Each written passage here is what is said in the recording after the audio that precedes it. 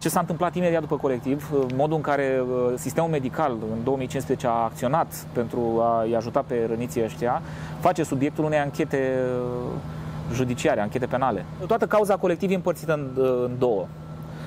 Era regretatul Jean Kelba, tatăl uneia dintre răniții din colectiv, care na, a fost o voce destul de, de prezentă în, în povestea asta post-colectiv.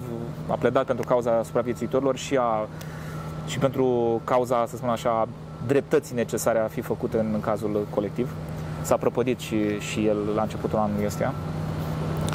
Uh, era tatăl prietenului meu, uh, uh, Alex Chelba, care a fost parte din echipa de filmare cu care am, am mers atunci în colectiv.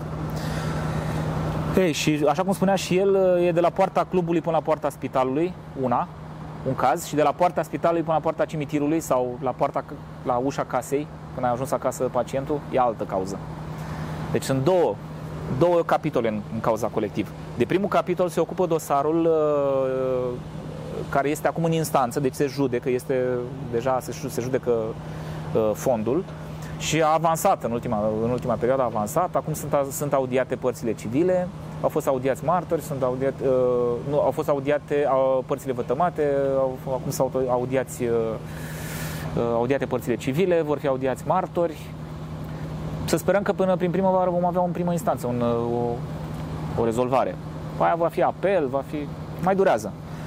Dar uh, dosarul ăsta s-a întins pe o durată foarte, pe, pe o perioadă de timp foarte mare pentru că sunt foarte multe părți civile implicate, foarte multe părți, nu știu, foarte mulți acuzați. Da, sunt pompierii care au dat avizele și au făcut inspecțiile, sunt patronii clubului, sunt, iar sunt artificierii care au, care au montat instalațiile.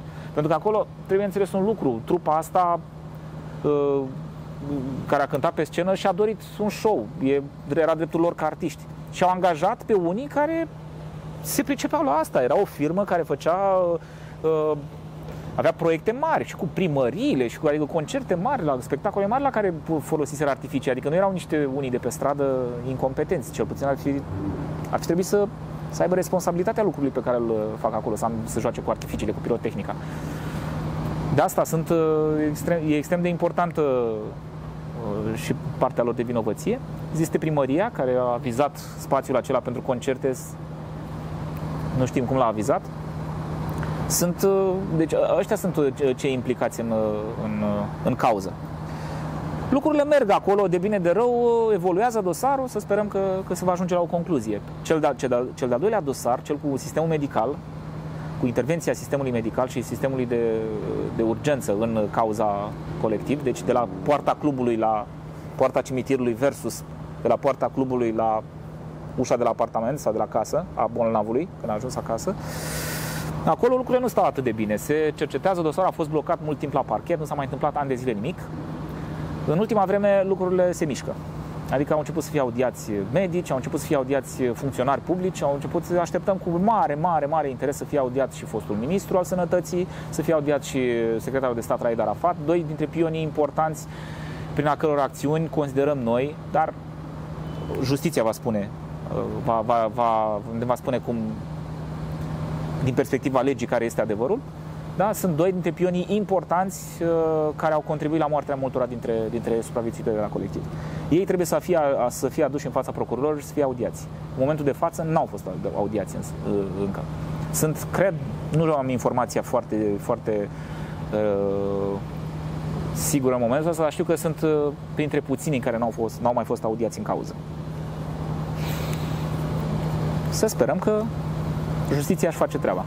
Dar este, este cert că în ultimul, ultimul an de zile dosarul a, început, a reînceput să meargă. Nu vreau să, să, să fiu conspiraționist, dar uh, după plecarea lui Augustin Lazar am văzut că a început să se miște dosarul. Acum, da, nu e, o, nu e o legătură care se poate face în mod obligatoriu, adică e o coincidență, probabil una dintre coincidențele care ne fac viața atât de interesantă în România. Uh, după colectiv, faptul că oamenii ăștia uh, răniții nu au fost trimiși în străinătate a fost, uh, a fost uh, un lucru extrem de grav, în condițiile în care întreaga Europa era îngrozită de ce se întâmpla aici. Să ne amintim pe doctorița Sarah Pape, da? a fost medicul Sarah Pape din Anglia, care a venit atunci și a spus că vrea să, că ei vor să ajute, s-a oferit să ajute România. Există o declarație publică făcută în fața presei, lângă ea era exact ministrul sănătății atunci Bănicioiu, fix lângă ea, scaunul alăturat. Și spunea, ea spunea că 85, nu mai știu câți, 86 de pacienți sunt foarte mulți pentru uh, uh România, 85 de, 86 de pacienți sunt foarte mulți și pentru o țară cum e Anglia, 86 de pacienți sunt foarte mulți pentru orice țară din Europa, 86 de pacienți sunt foarte mulți pentru Europa. Declarație publică, înregistrată, filmată. Da? Adică și n-au făcut-o. Au spus că, au, că, sunt, că există resurse în spitale, când au văzut că încep să moară pacienții, le-au trimis.